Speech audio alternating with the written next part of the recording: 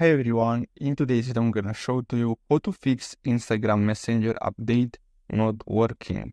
So basically this feature is available for new accounts and for some old accounts, so not for everyone. So if you have an old account, it may not work for you.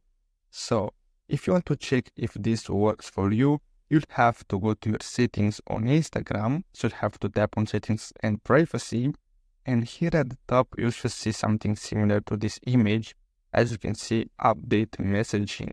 So you'll have to simply tap on that button and then uh, you'll be able to use the new Instagram Messenger update. Now, as you can see, I don't have uh, that uh, that button available because I have an old account and as you can see, it's not available for me. So if it's not available for you, you'll have to create a new account and basically this is how you can fix it. So I hope you found this video helpful. Thanks for watching.